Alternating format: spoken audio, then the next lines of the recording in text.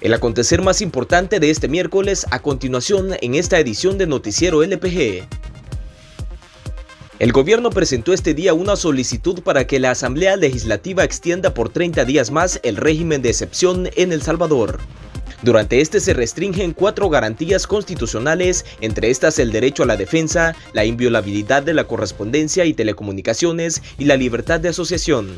El régimen de excepción se encuentra vigente desde el 27 de marzo y en abril fue aprobada una prórroga que lo extendía hasta finales de mayo. Durante este periodo han sido capturadas más de 35 mil personas señaladas en su mayoría por vínculos con estructuras delictivas.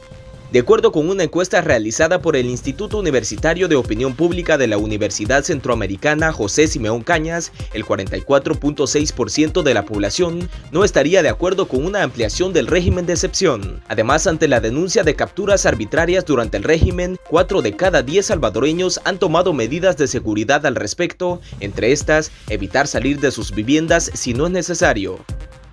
Arresto domiciliario es lo que el Juzgado Tercero de Instrucción de San Salvador decretó este miércoles para Violeta Mengíbar y Erlinda Handal, ambas exfuncionarias del FMLN, acusadas por la Fiscalía por delitos de enriquecimiento ilícito y lavado de dinero y activos. Según la defensa, las dos exfuncionarias se someterán a un proceso abreviado que podrán continuar desde sus casas, ya que según la jueza del caso, el panorama para ambas ha cambiado desde que se decretó la detención provisional el pasado 28 de julio del 2021, razón por la que aceptó y decretó medidas sustitutivas a la detención en centros penales. Las exfuncionarias fueron capturadas en julio del 2021 junto a otros exfuncionarios luego de que la fiscalía los acusara de recibir sobresueldos.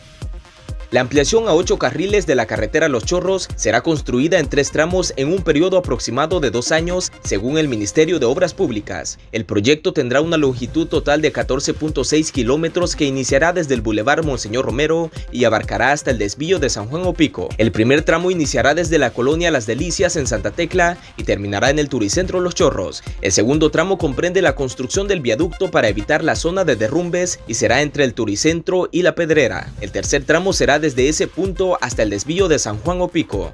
El proyecto será financiado con un préstamo del Banco Centroamericano de Integración Económica por un monto de 245 millones de dólares.